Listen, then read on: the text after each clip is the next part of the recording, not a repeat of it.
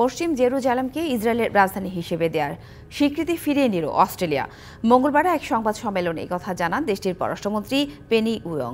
Israel ও ফিলিস্তিনের মধ্যে শান্তি আলোচনার মাধ্যমে সমস্যার সমাধান হওয়া উচিত বলে মনে করেন তিনি। পেনি উয়ং বলেন, অস্ট্রেলিয়া একটি দ্বি রাষ্ট্রভিত্তিক সমাধানের বিষয়ে প্রতিশ্রুতিবদ্ধ, যেখানে শান্তি ও নিরাপত্তার সঙ্গে আন্তর্জাতিকভাবে স্বীকৃত সীমান্তের মধ্যে ইসরায়েল এবং একটি ভবিষ্যৎ ফিলিস্তিন রাষ্ট্র সহাবস্থান করবে। এই সম্ভাবনাকে দুর্বল করে দেয় এমন কোনো সিদ্ধান্তকে অস্ট্রেলিয়া সমর্থন করবে না বলে জানান দেশটির পররাষ্ট্রমন্ত্রী। এর আগে দু হাজার আঠারো সালে পশ্চিম জেরুজালেমকে ইসরায়েলের রাজধানী হিসেবে স্বীকৃতি দেয় অস্ট্রেলিয়ার সাবেক প্রধানমন্ত্রী স্কট মরিসনের নেতৃত্বাধীন রক্ষণশীল সরকার।